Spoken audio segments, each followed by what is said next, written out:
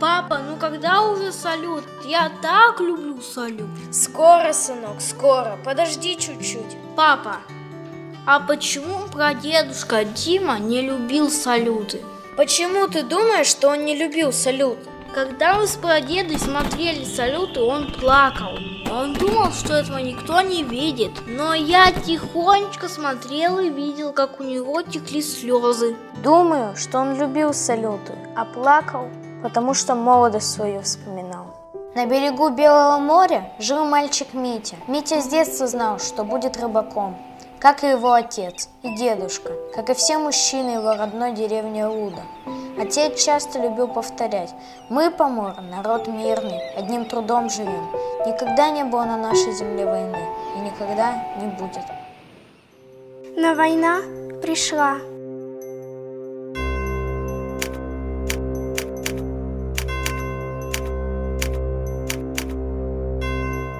Пришла каждый дом, забрала строгих отцов, веселых парней, озорных мальчишек, разбросала по глухим лесам и голым полям сражений.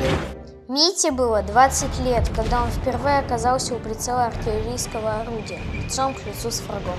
Было страшно, очень страшно, но больше всего Митя боялся не за свою жизнь, а того, что враг доберется до его деревеньки. И тогда страх исчезал, и Митя крепче сжимал рукоятку орудия.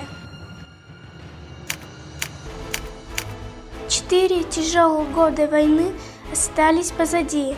25-летний старший лейтенант Дмитрий командовал артиллерийской батареей. Прошел весь Южный, Воронежский, Украинский фронт. Вместе с товарищами освобождал города и села. И уже шагал по дороге, по которой отступали немцы. И вот впереди река Одер, за ней Берлин, но немцы не сдаются.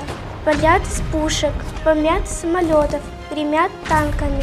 Чем ближе к Берлину, тем дальше враг от моего дома. Подумал Дмитрий и первым из своей батареи вскочил на понтон для переправы. Бойцы отстояли плацдарм и помогли боевой пехоте Красной Армии перейти через реку Одер. Много товарищей не вернулись домой, многие погибли, защищая свою родину. Папа, папа, салют, салют!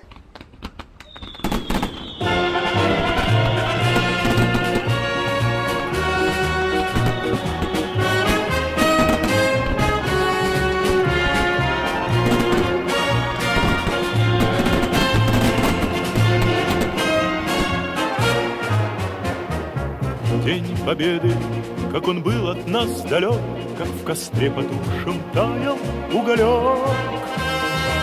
Были версты обгорелые в пыли, Этот день мы приближали, как могли.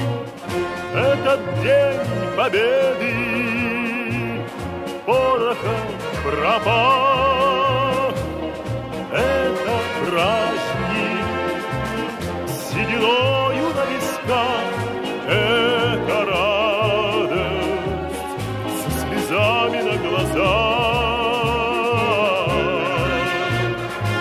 День победы, день победы, день победы.